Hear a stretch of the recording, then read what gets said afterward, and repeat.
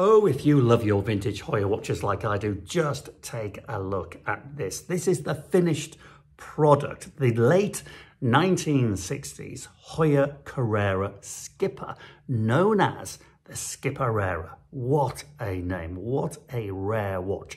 And I was with Jonathan Scatchard the very day he discovered this watch when I was filming with him in Wetherby, when a client brought it into him for some restoration. I'll put the link to the original video the day he discovered it above, so you can have a look at that as well. But this is now the finished restored watch. And when I say restored, this is crucial. This is sympathetically restored, maintaining the original integrity of the watch. This is a one owner from you, one family owner, monstrously beautiful.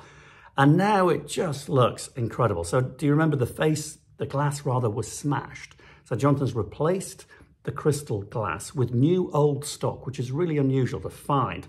Period crystal, as good as new, but it's period. So it looks absolutely the business. Now, the face itself, we talked about this in the original video, how it's marked and pitted and that sort of thing. Well, Jonathan, as he said, has left it because that is completely original and natural.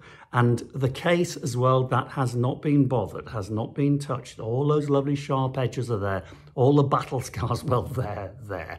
But the workings themselves, well, they've been completely cleaned, a few parts replaced, and thoroughly serviced. So this Heuer Skipperera is now ready to go for another few generations. And then to finish it off perfectly, that blue, look at the blue strap. It is drop dead gorgeous. Blue strap, racing strap, leather, handmade with the piercings. Just gorgeous.